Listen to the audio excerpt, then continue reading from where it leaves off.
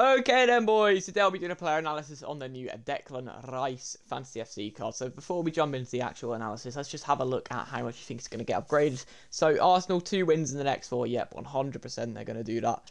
Unless they've got really hard running games, which they don't. Um, so yeah, definitely going to get that. He'll probably play three times. He, you know, he hasn't actually not played a game for them in so long. Um, and if the club scores 11 goals in the next four, so let's have a look at their games quickly. They've got Sheffield, Brentford, Porto, and oh, Man City.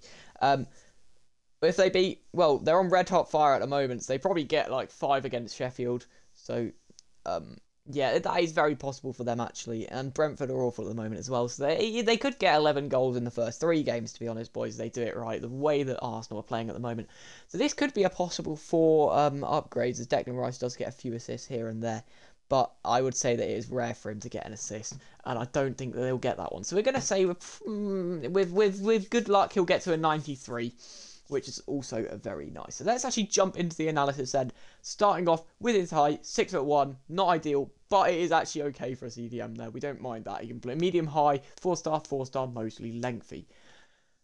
Um, yeah, that's a good start. I don't mind that. Keep him in CDM, boys. He'll be alright. Don't play him centre mid. Uh, and then in terms of linking, it's going to be a piece of piss for the English Premier League, Arsenal, all of that brilliant stuff. Love it. 87 pace. It's really, really nice. And uh, only 82 acceleration, but that is okay. We don't mind that. Shooting's mid.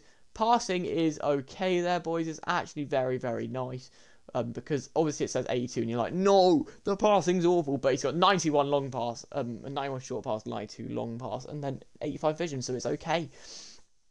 We've got 85 dribbling here, and the only reason it's not higher is because of the agility imbalance, which could let you down a bit, boys. But personally, I don't really mind having low this year. It's you know it fits in with the lengthy sort of database and that it's not really impacted me. I had a Sebastian Coe as about 40 accelerate uh, agility and 40 balance, and he's actually been really good for me.